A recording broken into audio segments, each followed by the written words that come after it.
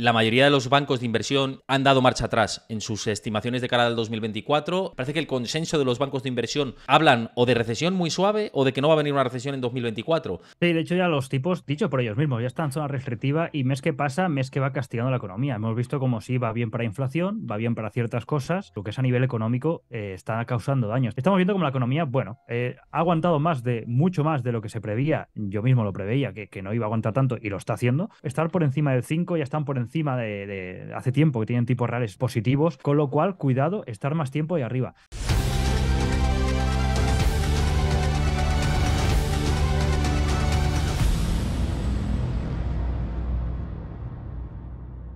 Antes de ver el vídeo al completo, recuerda darle a like, suscríbete a mi canal y déjame tu comentario. Y por aquí con nosotros una vez más, John Economics, ¿qué tal? ¿Cómo estás?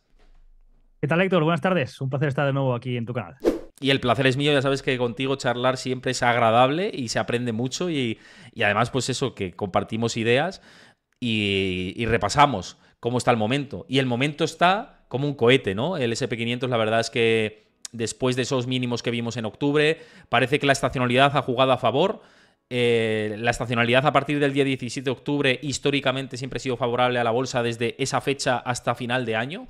Y estamos calcando este proceso, ¿no? Eh, sobre todo después del dato de inflación se ha conseguido ya un impulso mayor en el SP500, llevándonos a superar los 4.500 puntos. ¿Cómo estás viendo todo, todo esto? Porque una cosa es la economía, luego lo hablaremos esto, y los mercados que están celebrando claramente que la inflación parece que en el corto plazo se acabó los miedos de la inflación.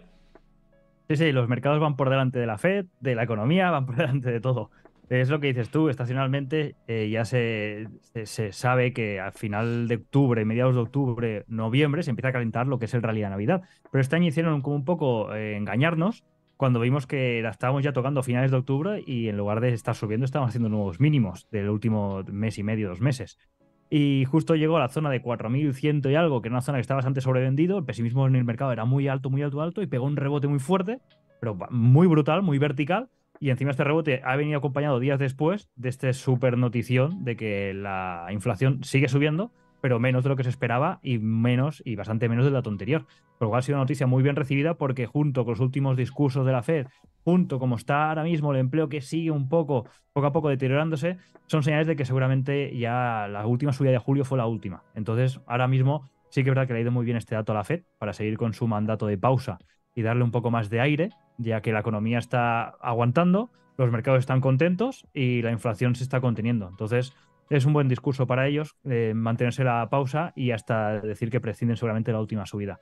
Con lo cual, eso el mercado está celebrando, quizás con euforia o no, quizás ahora si quieres lo comentaremos, pero estamos viendo índices como el Nasdaq que está rozando los máximos que hizo ya en el mes de julio. Con lo cual, no parece esto un mercado bajista. No, no, desde luego no, desde luego que, que eso se ha quedado atrás.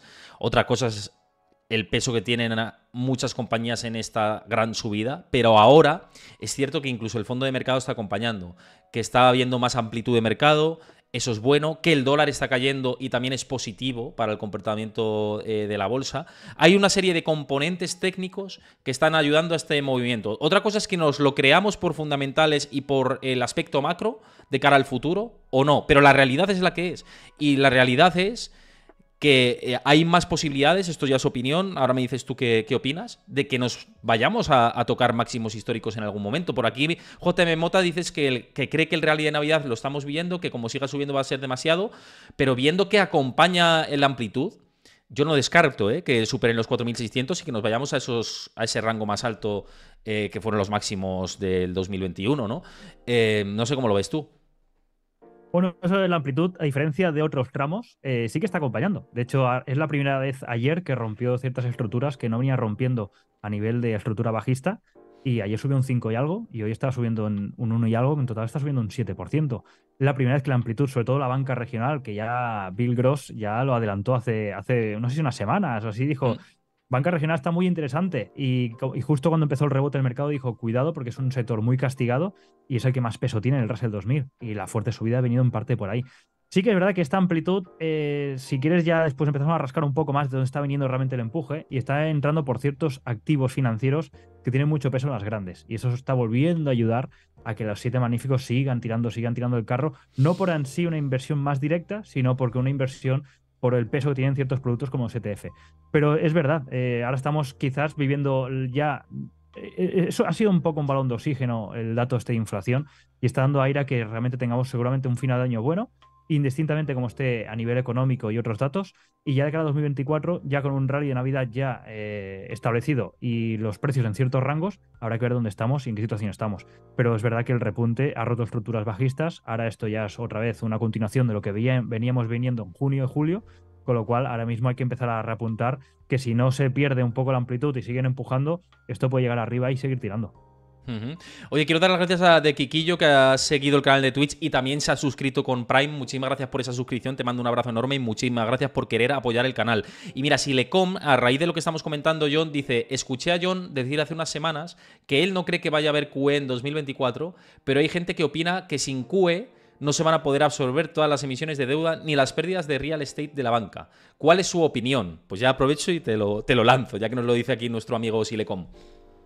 Sí que creo que no van a hacer un QE si no, si no pasaba una rotura a nivel bancario como en marzo, por el hecho de que de momento, eh, ahora mismo tienen un bono muy atractivo y sí que estaban teniendo ciertos problemas de colocación en, la parte larga, sobre todo en 30 años, como vimos hace, hace nada, hace muy poco. Y los primary dealers, que son los bancos que tienen como colegueos, como amigos, están saliendo un poco a rescatar un poco la colocación. Si viéramos que cuesta colocar bonos, sí que no es que veríamos un QE, pero sí que veríamos seguramente una intervención por parte de la Fed, que tendría que ayudar a la emisión del tesoro.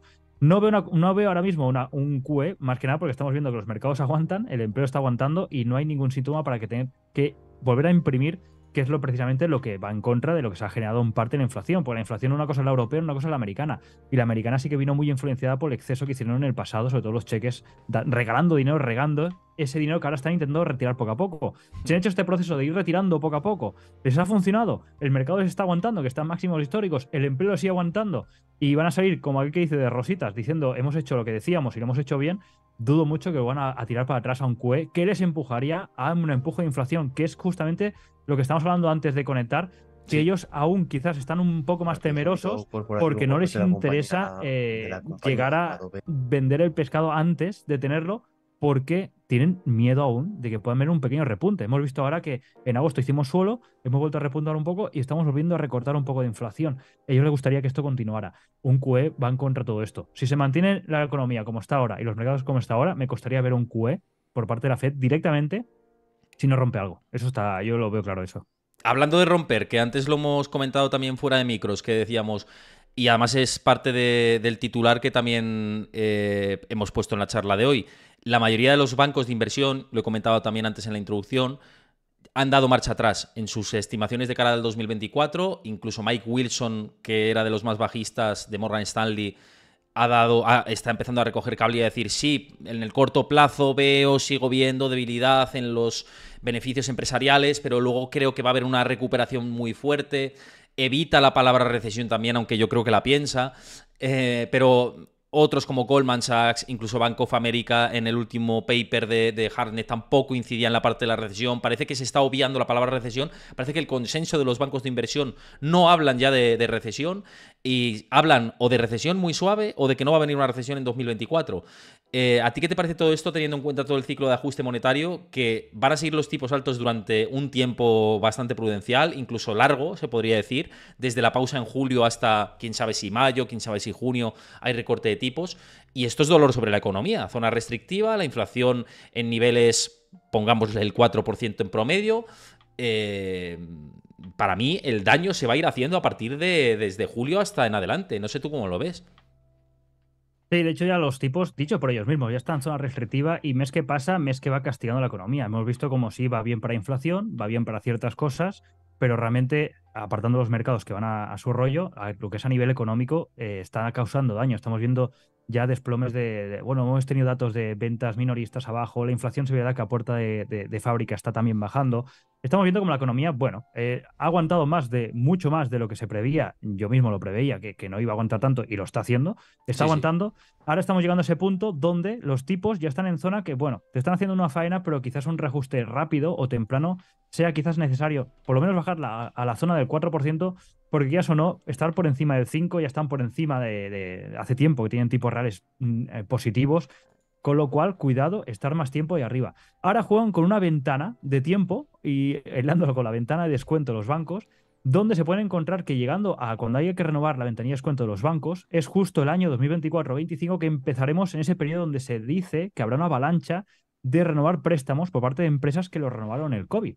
Con lo cual se pueden encontrar con esa ventana de tiempo que digan, tenemos una inflación que va descendiendo, hemos hecho daño a la economía manteniendo a 5, rebajemos porque vamos a facilitar la renovación de préstamos a empresas, vamos a facilitar renovar o no la ventanilla de descuentos si hace falta, porque hemos salvado el match ball este de que hemos estado en el, uy, perdón, en el pico de, tipos de interés, hemos congelado esa franja con la ventanilla de descuento, los bancos han podido aguantarla y ahora cuando está empezando a caer la inflación, ajustamos tipos. Se puede encontrar con que tengan, no sé si suerte o no, pero que el tiempo les vaya a favor.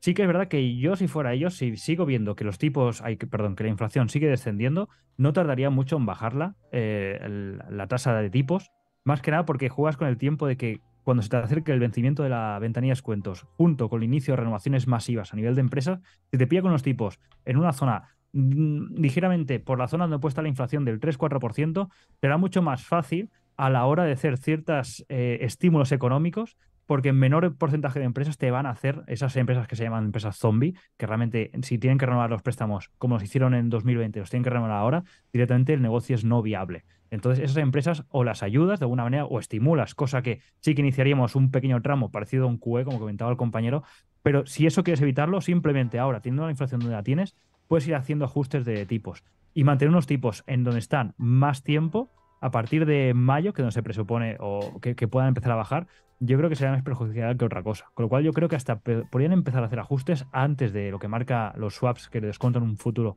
que lo ponen para mayo, más que nada porque ahora juegan con el tiempo de que si tienen la inflación que va descendiendo y pueden bajar antes los tipos, van a salvar lo que es la renovación de ventanilla de descuento y la renovación de préstamos. Y eso, que eso no, para ellos es un golazo y les va a venir muy bien. Y varias cosas con esto, ahora te, ahora te cuento, pero antes saludo a Chispito todo lo que saluda por aquí por el chat y os ahora iremos al chat a lo que vayáis diciendo por ahí, que seguid escribiendo y decid cosas que yo me lo voy guardando y luego lo voy soltando a lo largo de la charla.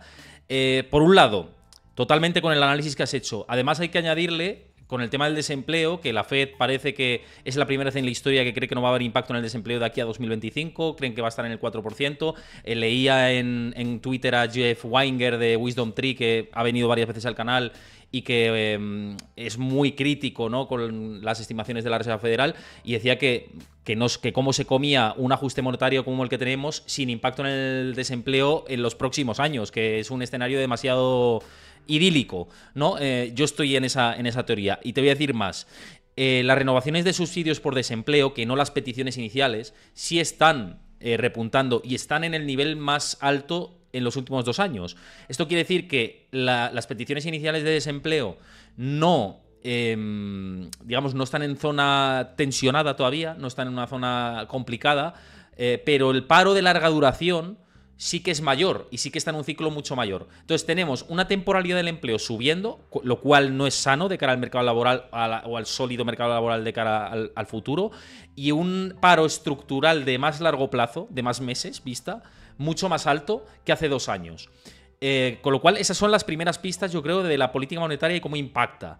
Tenemos también eh, los hogares, si nos fijamos en la disgregación de ingresos promedios de cada hogar, de 50.000 dólares eh, para abajo, de 50.000 a 100.000, de 100.000 en adelante, lo que observamos es que los hogares de menos de 50.000 dólares, en los últimos estudios de Morgan Stanley y de Bank of America del consumo, etcétera, es que ya están muy asfixiados. Es decir, que las clases más, más bajas ya no quieren consumir tanto. Y luego tenemos los tramos medios que dicen, bueno, igual haremos algunos ajustes. E históricamente, siempre que han venido eh, recesiones económicas cíclicas, no depresiones económicas, vamos a diferenciarlo, que hay gente que le cuesta diferenciarlo y, creo que hay que diferenciarlo. Siempre que han venido recesiones cíclicas, derivado de un aumento importante de la inflación, como lo que vimos en los 90 o en, principios de los 80, eh, siempre vimos esa reducción en, partidas más imprescindibles del, gasto, un aumento de la temporalidad del empleo y un aumento de las renovaciones de subsidios por desempleo. Parece que estamos en esa fase. Lo que pasa es que esto cambia eh, y, son esquemas y son escenarios. Pero yo creo que ya sí se está notando en el mercado laboral, aunque sea muy residual todavía y tengamos que ponernos el telescopio para intentar mirar más allá. Pero lo veo así, no sé eh, tú cómo lo ves esto. Bueno, totalmente de acuerdo. No poco que añadir realmente. Es que el empleo que aún sigue aguantando, ya comentaron que se está creando, es porque se cuenta que mucha gente tiene dos empleos. Por lo cual, haría, si encuestas la encuesta de los hogares y la encuesta de empresas, cambia mucho. Y, esa, y aparte, si sumas también la de P privado, con lo cual realmente está, el empleo no está bien, o sea, está empeorando, pero siguen unas cifras que, entre comillas, es tolerable. Hasta que no lleguemos a ciertas cifras, desde de peticiones subsidios de empleo de 350.000, estamos por 200 y pico, con lo cual aún hay margen para que realmente no veamos peligro en el empleo o para que la Fed tenga que realmente admitir en su discurso que el empleo está mal.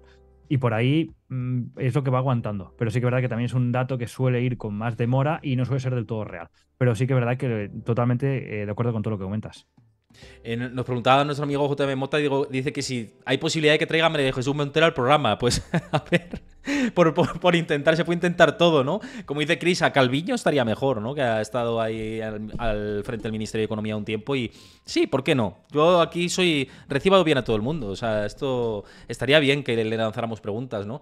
Eh, Jorge dices, pero si tenemos a un doctor en economía de presidente, ¿cómo va a ir mal? Bueno, no vamos a entrar en política hoy, quien quiera se cambia de canal y se pone la investidura, que seguramente se va a reír y, bueno, se va a reír, va a llorar, va a disfrutar de otras maneras, ¿no? Pero aquí vamos a intentar centrarnos en la parte de economía y mercados, que ya demasiado tenemos con la política española. Por cierto, aprovecho este impasse que, que hago eh, para que si veis esto también desde el canal de YouTube y os gusta este contenido, eh, este análisis que estamos haciendo, que dejéis vuestro like, que os suscribáis al canal, que también lo agradecemos, que también sigáis a John en su canal, que John Economist tiene un canal fantástico, y que dejéis eso, vuestro comentario, vuestro like y os suscribáis al canal. Yo encantado de que lo hagáis. Ahí abajo tenéis, activáis la campanita, tal, no sé qué, todo lo que necesitáis hacer para si lo veis esto desde YouTube. Eh, Pablo Gestión, muy buenas tardes, gracias por pasarte y saludar. Y como dice Warren Café, mejor no hablar de política que la última, que luego se meten trolls por aquí, Juli y no quiero, no quiero empezar a silenciar gente porque no me gusta hacerlo. Entonces, mejor dejemos eso al margen. Eh, Samu Móstoles dices, y lo que puede venir por el ETF de Bitcoin puede ser realmente brutalísimo. A ver, si queréis, eh, empezamos a hablar de este melón, que John lo ha ido comentando en sus vídeos en su canal. Eh, y también lo ha preguntado antes Jokama44, que cómo veías la posibilidad de que saliera un, ETF spot, ¿no? y, si puede venir después turbulencias por ese lado. ¿Cómo estás viendo el Bitcoin? Porque sé que has hecho un vídeo recientemente que el dato de inflación crees que no le va a venir bien a, Bitcoin, ¿no? Vale, eh, vale, por partes, como decía nuestro amigo Jack Destripador.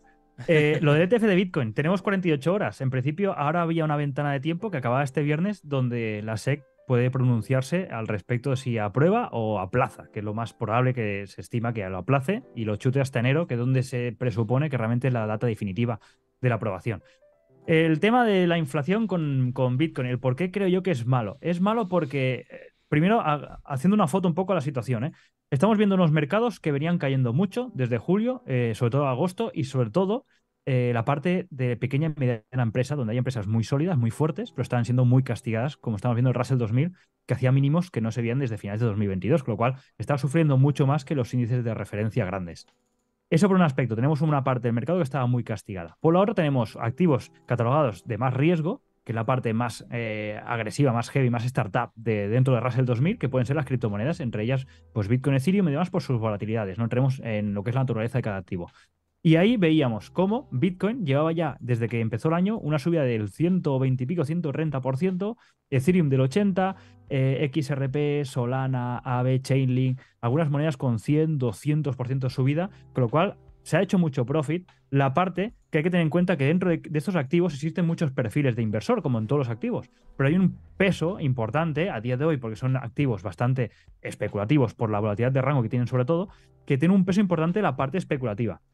Entonces yo me pongo a pensar, eh, cuando vi el dato me puse a pensar, yo como inversor especulativo, yo, porque yo hice ese movimiento en algunas monedas que tenía y empecé a entrar en ciertos eh, sectores de, Russell, algunos, entre ellos la banca regional, me dije, si tengo una proyección muy fuerte eh, que ya he hecho durante todo este 2023, mientras mercados tan castigados como el Russell está en mínimos de 2022 y tiene un potencial, tiene empresas muy sólidas, yo si llevo un profit, me invento de 100, 200% en ciertos activos, yo considero que ahora Bitcoin, que estaba llegando a la zona del 38-40, que era el primer techo o escollo difícil de este tramo que lo llevó desde los 16, que era una zona que tenía pendiente de hace tiempo, que era cuando empezó los problemas ya del año pasado, en 2022, con todo el tema de los FTX, de la caída de Terra, de muchas caídas fuertes, se iniciaron casi casi en una zona comprendida entre 38 y 40.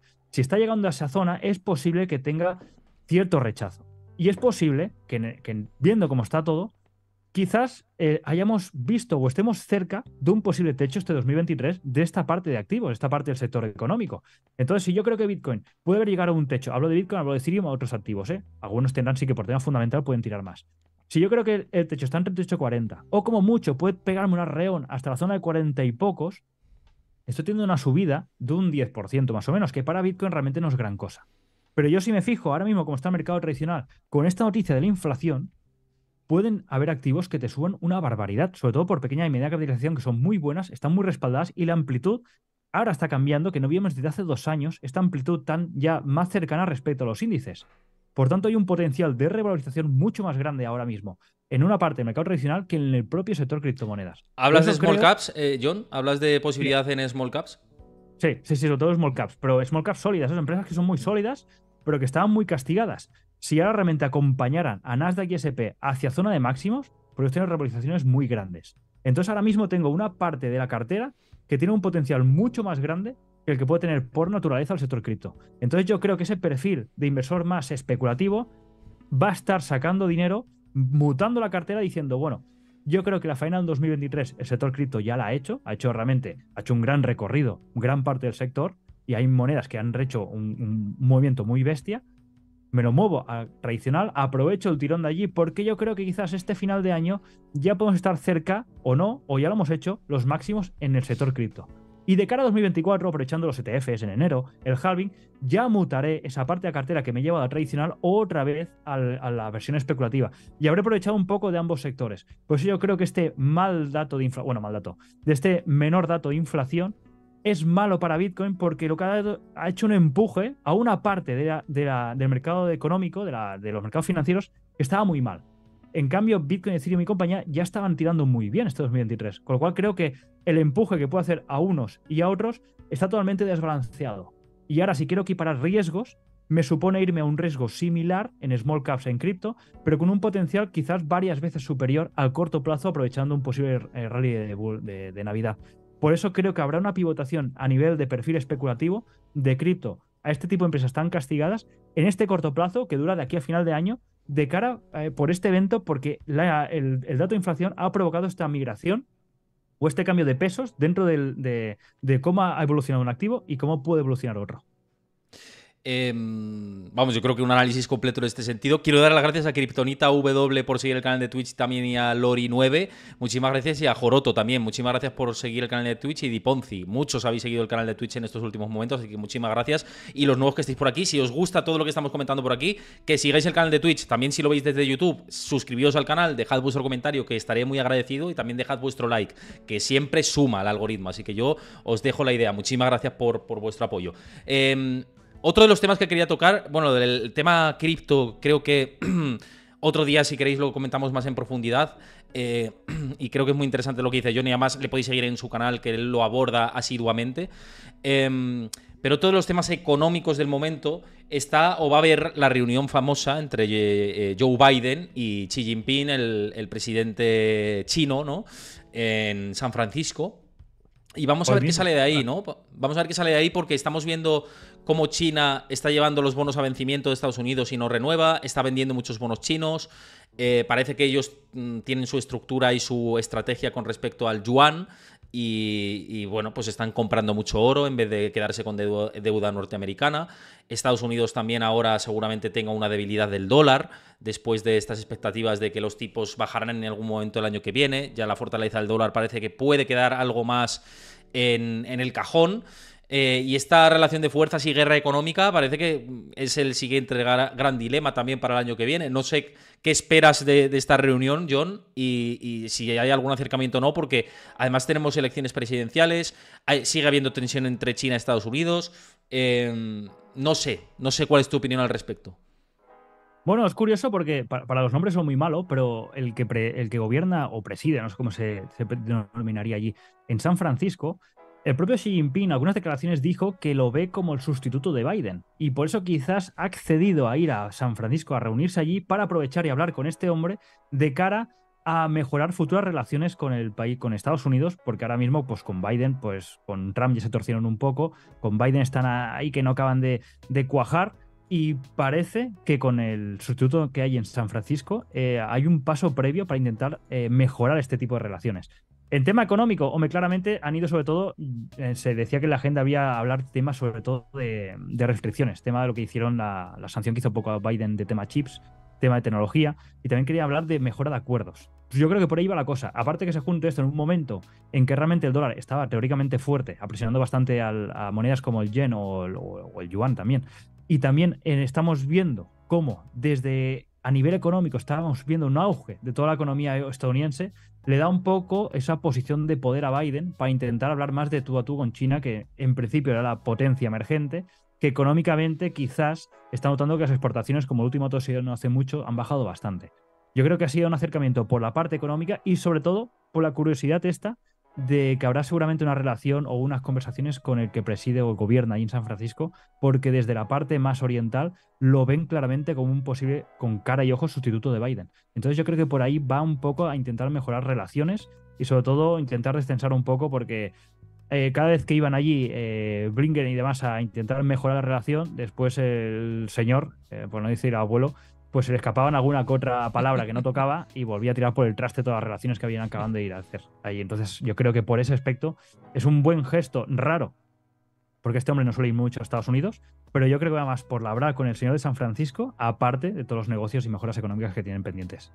Eh, te preguntaba por aquí, JM Mota, si hablas del gobernador de California, si es el gobernador de California a quien te estás refiriendo.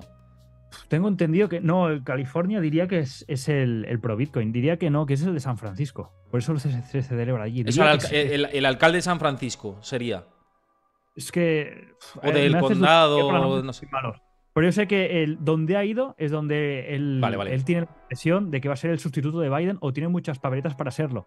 Y entonces le interesaría ver también a ver qué taraná o qué forma de pensar tiene de cara a futuras relaciones. Vale, de todas maneras, si sabéis eh, de a quién nos estamos refiriendo, que, que, nos lo confirméis por aquí por el chat. Eh, decían por aquí Gavin Newsom, eh, puede ser, no lo sé. Yo la verdad que no lo, desconozco, no tengo, no, tengo la información. O sea que sí, si nos lo podéis decir por aquí por el chat, yo encantado. Raposo74, muchas gracias también por pasarte a saludar y gracias por lo que estáis comentando por ahí por el chat. nos dicen que creen que es Gavin Newsom que hoy ha ido a recibir a Xi Jinping con Biden, o sea que seguramente, seguramente eh, eh, estemos hablando de, él. Y que suena como sustituto de Biden, pues entonces a quién se está refiriendo John, seguro, vamos, 100%. Em, oye, otro tema, que lo hemos comentado otras veces, pero que ahora parece que está muy en auge también. Tema de los bonos, ¿no? El bono a 10 años de Estados Unidos cayó por debajo del 4,5, hoy ha rebotado con fuerza, es cierto, pero parece que la tendencia mm, al alza se ha parado y con esas expectativas que hablamos antes de bajada de tipos, pues em, es un soplo de aire fresco. Para ti, eh, los tramos largos, bonos de largas o de duraciones largas y también de duraciones cortas, ¿no? Pero más de duraciones largas que parece que puede haber ya o haberse visto ya la capitulación, o, si no estaríamos ya seguramente en ella. Em, ¿Son oportunidad grande de cara al 2024? Yo creo que es un sector de cara a 2024 con buenas rentabilidades. Y si no, de alguna parte de cartera ya, si hay interés de tener renta fija, ya empieza a ser buen momento de ir pasando una parte, porque no sabemos nunca dónde está, nadie sabe dónde está realmente el techo, ni los mínimos ni los máximos. Es cierto que pasaron dos eventos clave que puede marcar el devenir de los bonos. Uno fue el dato este que conocimos el martes de inflación, con lo cual este ya ha marcado ya un primer arreón hacia abajo del tema del rendimiento, y el otro fue eh, un detalle que provocó justamente también los mínimos que vimos en el mercado, que fue que el Tesoro, y eso ayudó mucho a la recuperación del mercado, porque fue un primer gesto de decir, te estoy dando tiempo de margen a ti, Powell, para que arregles las cosas, es cuando la última emisión de deuda, el Tesoro, en lugar de emitir deuda como hacía hasta ahora, eh, descargó la deuda de largo plazo y la colocó más al corto, con lo cual destensó un poco el bono a largo plazo, que era el que estaba complicando las cosas, sobre todo el 10 y el 30 años. De hecho, esa reacción, esa decisión por parte del Tesoro, provocó que el 10 extensara, que era que estaba empezando a apretar la zona del 5% y ya empezaba como a que saltar la tornillería un poco del habitáculo y empezaba a hacer cierta presión. El hecho de quitar deuda de largo plazo y colocarla al corto fue un gesto del Tesoro que dio tiempo para que Powell, de hecho, se estimaba que le había dado un balón de oxígeno de 2-3 meses. Justamente empezó a repuntar el mercado, justamente salió el dato de inflación ha descensado aún más los bonos y ha dado a aumentar la probabilidad de un posible rally alcista, cosa que hace pocas semanas en octubre no la teníamos clara de que realmente podía existir. Entonces, ese movimiento del tesoro fue el primero que evidenció un cambio en un poco de las pautas entre ellos, no sé si bajo acuerdo o no, que el Tesoro dio aire a la Fed. Ese aire el mercado lo interpretó muy bien, vino el rebote prácticamente vertical, que si ahora que quieres te, explico una cosa más de, de fontanería mercado en tema de este rebote vertical. Sí, sí, y, y, a raíz de este rebote vertical frenó justo en estructuras donde aún el mercado se iba bajista y con el dato del martes acabó de romperlas. Son dos eventos que han destensado los bonos, dos eventos que marcan que el rendimiento de los bonos quizás estamos cerca de un máximo, porque ya hemos visto tanto el gesto del tesoro como un dato que ha facilitado que estamos en niveles que no interesa superar el 5%, por tanto no creo que tenga mucho más mm, eh, estirada y serían buenas zonas para empezar a, hacer estrategias eh, tácticas o no en tema bonos. 2024 por eso un buen año. Seguramente si se desploman los tipos eh, no hará falta esperar ni a vencimiento. Seguramente el bono tenga un muy buen precio, puede ser el cupón colocarlo, con lo cual yo creo que es una si la si tu cartera sea permanente, 60-40, sea la que sea, tiene tienes exposición a bonos y es y estos tipos de interés actuales ya son atractivos para empezar a hacer estrategias. Em, de nuevo, quiero dar las gracias a Doubeld99999. Eh, muchas gracias por seguir el canal de Twitch. A los nuevos que estéis por aquí, si os gusta el contenido que estamos eh, haciendo, eh, que os animo a que sigáis el canal. Y por seguir un poco con el libro de todo esto, que me lo han preguntado varios días de esta semana eh, de, la, de, la, tensión, una tensión que ha desaparecido en realidad, y es el tema del posible cierre del gobierno de Estados Unidos, pero es que ayer el, Congreso parece que, o la Cámara de Representantes de Estados Unidos parece haber aprobado una prórroga para evitar ese shutdown, el cierre del gobierno de, Estados Unidos. Esto un poco ligándolo con la parte de, de, la emisión de deuda y de cómo se encuentra detensionado el esquema político de Estados Unidos y cómo puede afectar a la economía. Em, a ver, para mí es, ahora me opina también John, pero para mí esto es, es lo de siempre, es poner parches constantes pero que no dan certidumbre de cara al largo plazo, porque lo que se ha aprobado es un parche, sin más, es decir, que se pasa la pelota más, más adelante. Y pasa lo mismo con el tema de la deuda y la refinanciación que tanto hemos hablado antes en el programa y en otros programas también. Eh, son parches tras parches y esto no, no, da certidumbre al inversor, sobre todo de cara a largo plazo. Eh, John, ¿no, ¿tu visión con esto? Sí, quizás ha estado un poco más olvidado con el tema del rally de Navidad y con sobre todo el tema del dato de inflación, pero si no hubiera, habido acuerdo, el viernes había cierre. O sea, este viernes ya había cierre de gobierno. Lo único, claro, el último portavoz, pues quizás puso algo más de resistencia, molestaba, lo echaron y ahora que han puesto, pues ha, llegado muy rápido a un acuerdo. Con lo cual vemos que quizás han puesto a quien interesaba poner. Y ahora ya salta a enero. Y lo que dices tú, van chutando el balón con la deuda, van chutando y ahí seguirán chutando, creo yo, hasta las elecciones. Y ya cuando entre el siguiente partido o ganen los mismos, ya dirán, bueno, hay que sentarse porque esto no puede ser que cada dos meses estemos así.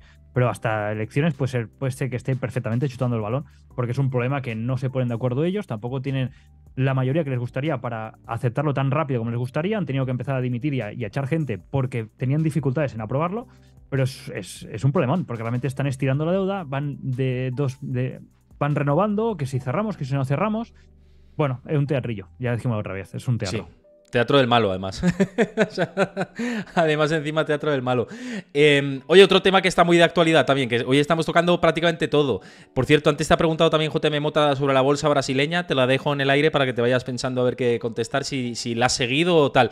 Pero antes, el tema petróleo, ¿no? Que parecía que había miedos de que subiera otra vez por encima de 100, pero lo que está haciendo es desplomarse, básicamente. No sé cómo veis el petróleo y que parece que por lo menos el conflicto en Oriente Medio, la, escalabilidad del conflicto más, bien parece que está pausada y que no está yendo más allá y sobre todo que no entra en escena Irán, que es el que peligra ¿no? y el que generaría más tensión dentro del mercado de las materias primas y en especial del petróleo.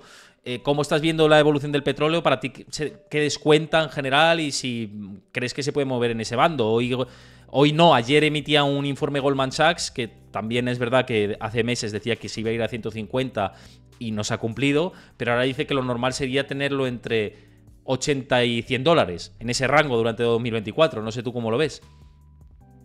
Vale, eh, primero, el tema de la bolsa Brasil no, no, no la controlo. No podría hacer ya aquí una explicación fundamentada porque no, no, la domino. Y el tema del petróleo. El tema del petróleo, eh, por desgracia o no, es eh, se olvida muy rápido de los problemas. Y los conflictos bélicos eh, vemos que realmente el impacto directo en mercado dura una semana o dos. Y a partir de ahí se va diluyendo si no aumenta, si no hay escalada. Y si la cosa se mantiene, por desgracia, dentro de la zona, haciendo las gracias que hacen, pero no escala fuera, pues como que se olvida. Ya estamos viendo rally de Navidad, el petróleo volviendo abajo, como si no hubiera pasado nada. Todo el petróleo se disparó sobre todo por la tensión en, en, en, en los primeros días, por la posibilidad de realmente escalada, porque habían amenazas serias y porque de por medio habían acuerdos que se, habían, se acaban de romper, se acaban de firmar y se rompieron justamente la noche del ataque, que era Estados Unidos con Arabia Saudita. Después teníamos a Irán también, que es un productor, no tiene un impacto tan grande, pero nos encontramos como que tenemos dos zonas geográficas, como son Ucrania, Rusia y la zona de eh, Oriente Próximo, que son claros exportadores de materias eh, de, petróleo y están afectados por guerras. Entonces, claro, el petróleo se encontró pues, con una tensión fuerte. Encima, el que lo tenía un poco atado a la cuerda del perro, que era Estados Unidos con sus reservas, ya no tiene tanto margen para seguir metiendo inyección, para seguir frenándolas, y se le escapó de las manos y se le fue a tocar la zona de 90 y pico. Entonces había ese momento de tensión, de decir, bueno, como empiecen a entrar, a entrar eh, terceros a la guerra vimos cómo Estados Unidos y, para que viéramos hacia dónde estaba la importancia de cómo controlar el precio, porque la amenaza fue que Reino Unido y Estados Unidos, claros países con, con intereses y con afectación en inflación, se plantaron allí con portaaviones, con destructores, bueno, si en principio es una guerra de pequeña escala eh, y no hay peligro de escalada, ¿qué hacéis allí? Entonces era un claro aviso de decir que no se meta nadie más, porque si entra más gente, entonces habrá que entrar nosotros, llegaremos tarde, pero ya estaréis dentro, con lo cual no podéis salir y nos vais a disparar ciertas tensiones, eh, tanto a nivel de geopolítico como a nivel de, de, precios en, el tema del petróleo. Y yo creo que ahí, cuando se vio que por desgracia la cosa no saldría ahí dentro y ya está empezando a entrar ciertos países como Qatar y demás a mediar para intentar que la cosa tiende a ir a menos, el petróleo pues no tiene memoria y seguramente se mantenga, yo calculo en zonas este 2023 entre 70, 80, 85 y de cada 2024 ya veremos, porque de momento hasta enero tenemos la limitación de exportación por parte de Rusia y por parte de Arabia Saudita que la, han renovado y la han confirmado hasta enero y enero ya veremos, porque Rusia mm, bueno, yo creo que económicamente no está muy fina, entonces quizás no le interesa estar tan limitado en venta. De hecho, ya se dice que bajo mano y en negro está, está emitiendo mucho más de lo que dice legalmente. Y Arabia Saudita tampoco está muy bollante en números. A nivel contable tiene problemas. Entonces esta amenaza no sé yo hasta dónde llegará. Entonces seguramente veamos un 2024 que si se reactiva la demanda puede hacer contrapeso. Pero como la demanda de China sobre todo no se reactive, podríamos ver un petróleo volviendo al rango abajo entre 60 y 70. Y eso no gustaría a la parte exportadora y sí gustaría mucho a países que, que importan inflación vía energía. Sí, sí, en España estaríamos eh, haciendo, vamos, palmas con las orejas. no, totalmente. Eh, ¿Sabes lo que yo creo con el petróleo, John? Eh, creo que está para mirarlo a muy corto plazo. Es decir, no me atrevo a hacer un pronóstico en el petróleo viendo que el mundo es un polvorín, porque mañana se tensa más de la cuenta el conflicto de Oriente Medio, Irán dice sí que empieza a mover el árbol, pues ya te dejo del petróleo, Rusia no sé qué, ya te dejo del petróleo. A mí me parece que, el petróleo va a tener esta tendencia que estamos viendo, pero no me atrevo a hacer. Es el activo en el que menos me atrevo a hacer predicciones, porque creo que es el más sensible a cómo está el mundo. Y el mundo está. Y con elecciones en Estados Unidos el año que viene, es que hay una serie de, incertidumbres ahí abiertas que yo no me atrevo. Yo sería un activo que no opero ni de, ni de lejos ahora mismo, porque es que no me atrevo. Yo es un activo que a nivel intradiario nunca lo he operado porque lo he visto complejo y intradiario en teoría tienes ese margen que puedes operar y cerrar el mismo día. Pero lo que dices tú, cualquier mínimo comentario, cualquier mínima acción o que te pete otra, lo que pasó en la valla de, la franja de Gaza fue en cuestión de horas. O sea, te peta, es que te puede petar, eh, siempre se habla del tercer punto caliente, te peta eh, China-Taiwán y a ver qué hacemos. Porque claro, eso también eso no es una zona exportadora, pero sí que es una zona bastante con demanda. Si te entra en guerra China con un país gordo, te rompe la cadena, te rompe el, mundo en dos, en dos bloques y a ver cómo lo haces, porque los exportadores generalmente son amigos de China. Se te puede complicar todo por momentos, con lo cual es un activo muy, muy eh, dependiente de temas geopolíticos y cualquier comentario. Y previamente lo hemos comentado también, por cierto, Gaudemux, muchas gracias por suscribirte al canal, mil millones de gracias, te mando un, abrazo y gracias por apoyarlo y a los nuevos que estéis por aquí y que habéis seguido el, el canal, perdón, muchísimas gracias. También, si veis esto desde YouTube, que lo he dicho a lo largo del directo, que os suscribáis al canal si os gusta el contenido, dejad vuestro comentario de qué, opináis con respecto a todo lo que estamos diciendo y dejad vuestro like. Y que os unáis a mi comunidad de Discord, que lo he dicho al principio del programa y siempre lo voy recordando a lo largo de los directos, que ahí comparto información en tiempo real, gráficos, análisis, debates con vosotros. Tenemos toda la comunidad fantásticos. Somos más de 2.000 usuarios, es gratis, así que uníos que os va a gustar os va a gustar lo que compartimos por ahí. Hoy, por ejemplo, el dato de ventas minoristas de Estados Unidos en tiempo real lo tenéis ahí publicado. Todos los datos relevantes de la economía en tiempo real. Así que unidos a la comunidad. John, de hecho, está mismamente. O sea, John está en mi comunidad de Discord, así que él, puede dar fe. Él puede dar fe de lo que compartimos. Oye, eh, gracias por esa reco. Em, y otra otra de las cosas, estamos tocando ahí todos los palos, ¿eh? Y si nos dejamos alguno, comentad por el chat, ¿eh? Que os voy leyendo. Y si queréis lanzar alguna pregunta, yo estaré encantada también de introducirla ahora en esta parte final del, programa. Hacedlo. Yo os lo, os invito a que lo hagáis. Pero quería hablarte del tema dólar. Bueno, además de que el tema dólar y, que, y su hegemonía y todo esto, que es el debate manido, pero estamos viendo debilidad en el dólar. Antes decía, o hacía yo el resumen de por qué la bolsa también subía en general y que la debilidad del dólar favorecía a la renta variable norteamericana, y históricamente siempre ha sido así, cuando hemos tenido más debilidad del dólar también se favorece esa subida de la bolsa. Eh, estaba, no sé cómo está ahora, no sé si lo tienes tú en directo, yo vi que llegó hasta el 1.09 y que, bueno, hay posibilidad por estructura incluso que, siga tirando, pero... Mm, ¿Cómo ves eh, esta última debilidad del dólar y si crees, lo ves tú más recorrido? Vale, eh, partiendo de que el índice del dólar, el DXY, el gran peso de su cesta, sobre todo es el euro. Entonces siempre hay que intentar mirar la fortaleza del dólar versus sus máximos enemigos y entre ellos siempre está el euro. El euro se ha movido desde que mm, misteriosamente perdió la paridad, siempre en una franja de seguridad donde se encuentra más o menos cómodo a nivel de exportación e importación, que es el 1.05-1.12. Entre ese rango lleva desde prácticamente, bueno, lleva no, todo 2023. Entonces, cuando vimos la debilidad, sobre todo por el tensamiento de los bonos y, ese amago del rendimiento empezar a despuntar por encima del 5%, fue cuando empezamos a ver los mínimos en la zona del 1,05. Esa era la zona, claramente, si se perdía, sería un problema serio para el euro y, en principio, bueno para el dólar. Ahora estamos volviendo a la parte justo media del rango entre 1,5 y 1,12. Ese es el rango donde se mueve cómodo el euro y donde se mueve, mm, no es que sea cómodo el DXY, pero sí que la fortaleza del DXY, todo y que siempre se habla de, se, comentaba sobre todo esta narrativa de desdolarización, como sigue siendo la moneda que se transacciona más del 80% del comercio global, lo cual de momento mm, no parece que estén muy preocupados.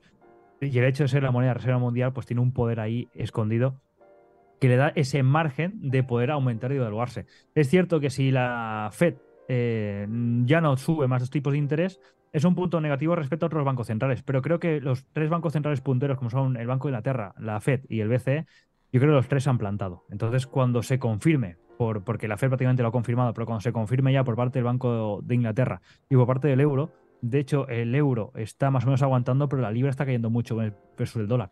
Después de conocer el dato hoy de inflación del Reino Unido, que también puede confirmar, y algún miembro del Banco Central de Inglaterra lo ha confirmado, que quizás ya no hace más subidas. Cuando esto lo confirma el BCE, también, entonces debería estabilizarse. Pero entre la zona de entre 1,05 y 1,12 a nivel del euro, dólar, del euro dólar y el DXY por la zona donde está ahora, es la zona más o menos donde ambas partes están satisfechas. Con lo cual es una zona más o menos de confort y que podría durar un tiempo. Mm. Por cierto, saludamos a Montoya que se acaba de conectar hace poco. Te mandamos un, abrazo, muchas gracias por pasarte y saludar. Es uno de los activos que tenemos ahí dentro de la comunidad de Discord compartiendo información fantástica. Así que muchas gracias por pasarte por aquí y tienes el chat para hablar de aquí a lo que dure el, directo.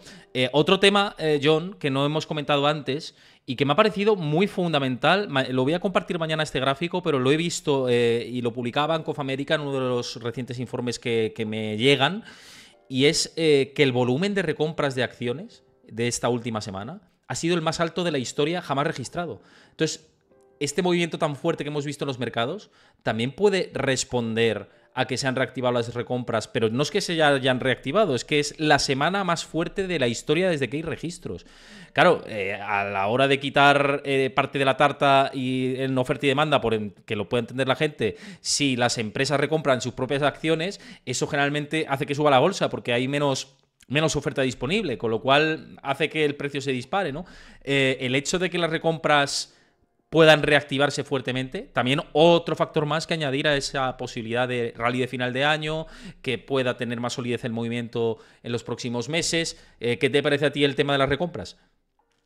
Sí, las buybacks, eh, me acuerdo yo cuando empezó el tramo alcista en 2023, tenían un peso importantísimo. Gran parte siempre se decía que las recompras de las siete grandes, era gran parte, esas subidas eran parte de recompras. Y las recompras entraron en funcionamiento, se empezó a quitar ya el veto a finales de octubre, justo cuando coincidió también con este cambio de, ponderación de bonos en el tesoro. Con lo cual se juntó lo del tesoro, se juntó una zona muy sobrevendida, muy de pesimismo y la recompra de acciones.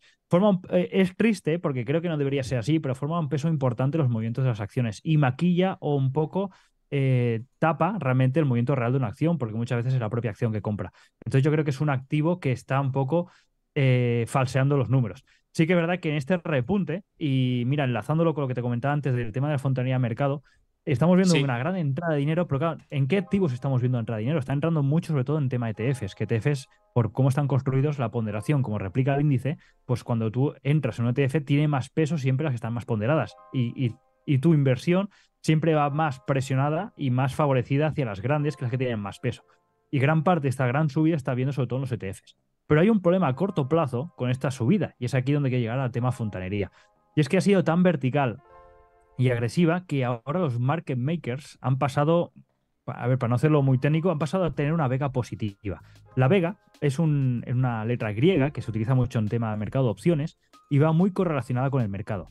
Y cuando esta es positiva, quiere decir que los market makers ganan cuando la volatilidad aumenta. Hoy hemos visto un nuevo mínimo del VIX en 14, o, mm. o perdí los 14.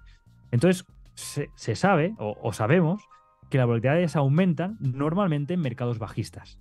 Y esto suele pasar en caídas de mercado. Y esas caídas de mercado ahora favorecen a los market makers, tal como está la vega positiva. La última vez que esta vega estuvo positiva fue en 2018. Y muy poco después el mercado cayó un 7% en prácticamente una semana. ¿Qué quiere decir? Que esta subida vertical, eh, el problema está que está dando pie a movimientos volátiles futuros y en momentos volátiles futuros que favorecen en qué dirección si el market maker le favorece bajista. Entonces podríamos entrar dentro de un mercado que puede tener un muy buen final de año, pero atención, porque podemos ver movimientos bruscos. De hecho, la última subida de, ayer, de esta del 5% del Russell, tuvo un movimiento de tres desviaciones estándar. a nivel de volatilidad histórica, esto es mucho. Esto realmente dentro del mercado se llama un Russell Squeeze, que es un movimiento que no se suele prever y son movimientos que barren. Y sobre todo, hemos visto eh, que las posiciones de calls eh, dentro del Russell se han disparado a máximos históricos, porque no porque tengan interés en la compra, que esto vamos a rascar, es porque se están cubriendo, porque era un índice que tenía mucha presión a nivel de cortos. Había muchas posiciones cortas por parte de fondos de cobertura y que están como locos comprando calls para cubrir y congelar sus posiciones. Si yo estoy muy corto en el mercado y este se me dispara, si compras calls y más o menos te haces una ponderación correcta, lo que haces es congelar la posición, la cubres. Pero claro, esa, esa congelación, cuando tú tienes totalmente la cartera congelada, es tontería, porque si no arriesgas, no ganas. Entonces, ahora mismo están esperando qué. Y si vemos cómo está la vega positiva, es posible que veamos un aumento del nerviosismo o de velas más grandes de lo que marca la media histórica en los mercados. Entonces, esto es la parte negativa de este movimiento arriba que estoy viendo en el mercado, porque ha sido tan vertical, tan agresiva, que ha hecho que esto cambie a nivel de market maker y ahora el problema está que tienes grandes interesados que controlan prácticamente el mercado porque dan la contrapartida, que les interesa que esto se vaya abajo en ciertos momentos. Por tanto, podríamos ver movimientos volátiles a la, baja. Y esto confirmaría un poco esta distorsión del mercado tanto por las compras de ciertas empresas como las, las, las recompras de acciones que me has comentado, como que estamos viendo ciertos movimientos alcistas que están entrando por parte de productos ETF, que no son compras directas, sino que son compras ponderadas que favorecen a esta subida, y encima las pequeñas, con sectores que han subido mucho, que están entrando mucho dinero, como son la banca regional, pero que ha provocado cierto movimiento que ha desajustado esta parte de market makers, que lo que te está diciendo es, no que nos vayamos a mínimos, no es que esto sea falso, sino que, ojo, porque puede haber volatilidad fuerte y, muchas veces será en dirección bajista, que después se puede recuperar. Pero mm, esto de cara a, no es una recomendación de inversión como siempre, pero de cara a precaución, porque podemos tener jornadas muy violentas a la baja, que no quiere decir que esto se, se, rompa lo que es el rally alcista, pero que sí que tengamos movimientos volátiles a la baja mucho más eh, amplios de lo normal por este evento. Y es porque detrás hay un peso muy fuerte de cierto partícipe del mercado que le interesa porque tiene la condición que gana con estas caídas de mercado. Entonces hay que entender cómo está la cloaca, cómo están las profundidades de mercado para hmm. entender ciertos movimientos que pueden pasar porque las probabilidades se están disparando en este aspecto. Eh, mira, Montoya nos decía respecto a esto, dice, ya, ya, pero estamos en vencimiento, después del viernes se ajusta todo. Eh, decía Gestión Futura que totalmente de acuerdo, que este impulso vertical no es mercado sostenido. Eh, no sé qué, qué opinas de esto, John. No, correcto, lo que sí que es correcto lo que comenta eh, JM Mota, ¿no era? no, Montoya, Montoya, Montoya, JJ Montoya, eh, sí. Sí que, sí que es cierto, cuando se está cerca de vencimientos, es verdad que lo de 2018 pasó, eh, no había las situaciones que había ahora. Entonces sí que es verdad que ese 7% de caída vino eh, seguramente empujado por muchas otras.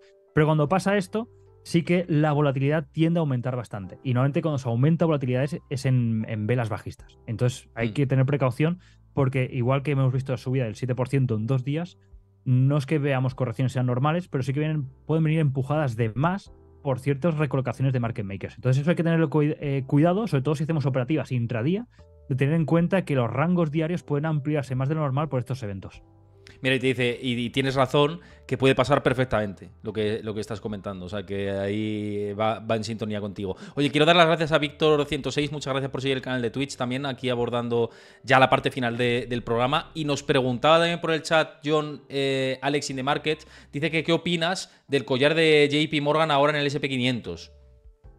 Bueno, a ver, el collar, eh, me lo pongo aquí en pantalla, estaban 4.000, rozando el 500 y lo ha traspasado. A ver, los collares eh, son posiciones que tienen internas a la hora de gestionar fondos, en este caso JP Morgan. Lo que hace es más o menos controla o, acota un poco el riesgo. Realmente lo que hace ahora es, eh, Morgan lo que está haciendo ahora es dejar de ganar, no está perdiendo, pierde, por cómo tenía montado el collar, pierde si se desploma mucho el mercado por debajo, me parece que la siguiente zona era 3.400, a partir de ahí sí que empezaba a perder. Pero dentro de estas franjas, lo que hace ahora es que si el mercado siguiera subiendo, deja de ganar.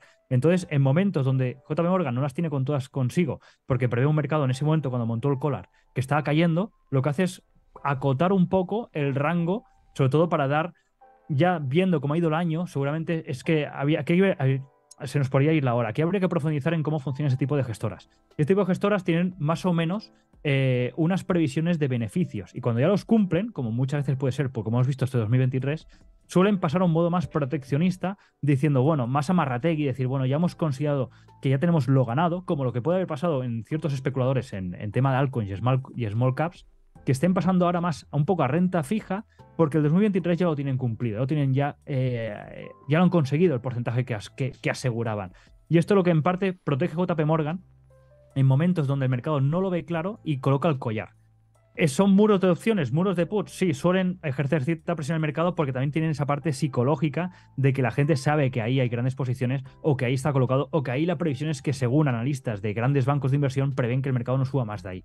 Pero lo que está significando es que a partir de aquí para arriba, a partir de 4.500, ellos dejan de ganar en esas posiciones, está la posición congelada, pero no quiere decir ni mucho menos que el mercado no pueda tirar arriba.